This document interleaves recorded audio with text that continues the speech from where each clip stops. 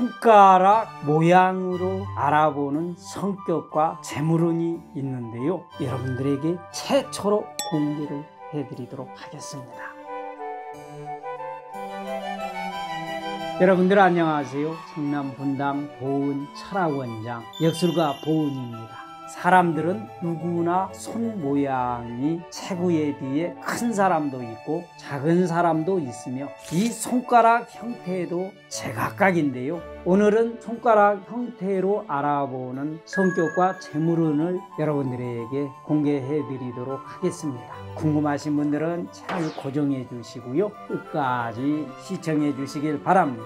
본 영상에 앞서 좋아요 한 번씩 눌러주시면 더 좋은 영상을 준비하는데 큰 힘이 됩니다.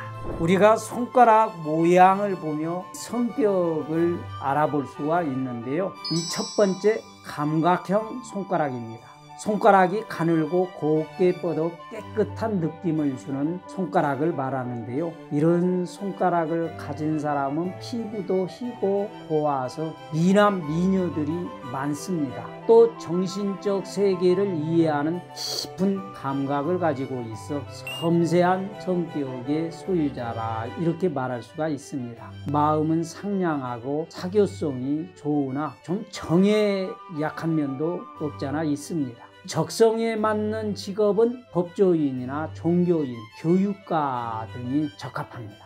두 번째, 이 창조형 손가락이 있는데요. 손가락 끝이 가늘고 둥글며 손등은 갈수록 굵어지는 게 특징입니다. 탄력이 있고 유연한 손가락으로 미적 감각이 뛰어나며 상상력도 풍부해 예술 방면으로 나가면 뛰어난 재능을 발휘할 수가 있습니다. 두뇌가 총명하고 또 톡톡 튀는 아이디어가 많은 사람으로 성격은 명랑하고 또 사교적이고 감정도 풍부하고 인생을 즐겁게 보내는 사람들이 많습니다. 적성에 맞는 직업은요 작가나 미술가, 음악가 등 예술적이고 창조적인 일에 적합합니다.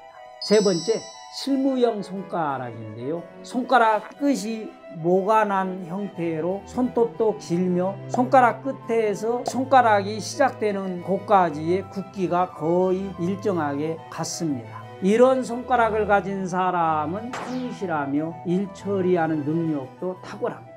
특히 조직의 질서와 규율을 잘 지키며 또 보수적인 사고를 지닌 사람들이 많습니다. 적성에 맞는 직업은 셀러리맨, 기술자, 공무원, 학자 등이 적합합니다. 네 번째, 개성형 손가락입니다. 이 손가락 끝이 숟가락처럼 넓적한 그러한 모양으로 손톱은 세로의 길이보다 가로의 길이가 더 긴 사람들입니다.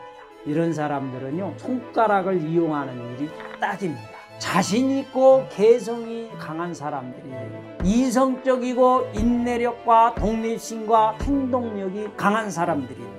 적성에 맞는 직업은 모험가, 탐험가, 발명가, 사업가, 의사, 과학자, 기술자 등이 적합합니다. 다섯 번째, 사색형 손가락입니다.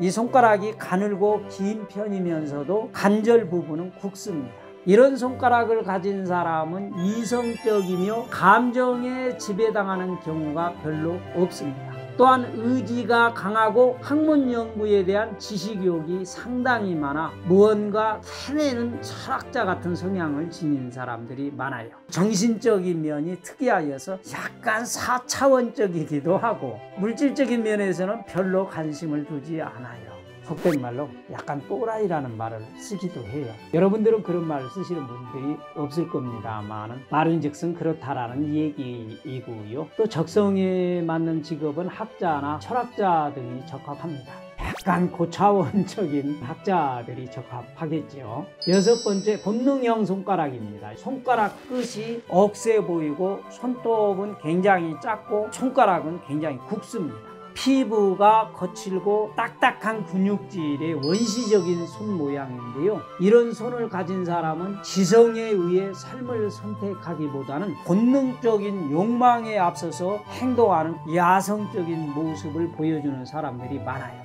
건강한 몸을 타고난 경우가 많고 그래서 몸으로 이렇게 하는 일들을 잘합니다.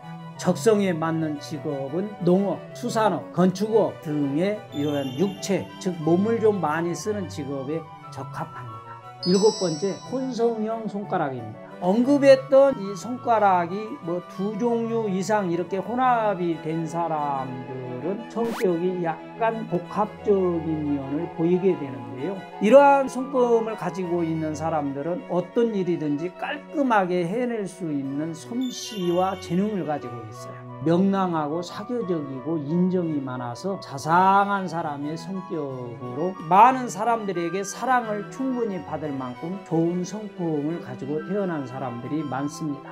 단점은 어떤 일이든지 잘 처리할 수 있으나 한 가지 일에 오래 집착하지 않는 성격으로서 왜 이런 말이 있잖아요. 손재주가 좋은 사람들은 가난하다라는 말. 이런 사람들을 들고 하는 말이었어요. 이러한 사람들의 적합한 직업은 영업이라든가 서비스업 등 사람 관계를 중시하는 직업이 적합합니다. 오늘 여러분들과 함께 이 손가락을 통해서 이 어떤 성격을 가지고 있는지 어떠한 손이 경제적으로도 좀 여유가 있는지 이러한 이야기를 좀 제가 해 보았습니다. 그런데요, 아무리 좋은 손가락을 가지고 있으면 뭐하냐? 마음 씀씀이가 글러먹었으면 그 사람은 결국은 말년이 이롭지 못합니다.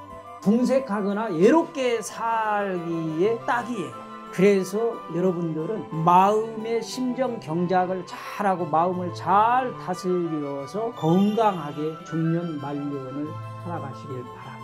이 손가락이 뒤틀렸던 굽던 짧던 잘생겼던 못생겼던 우선 마음의 간상이 좋아야 된다 이 이야기를 드립니다.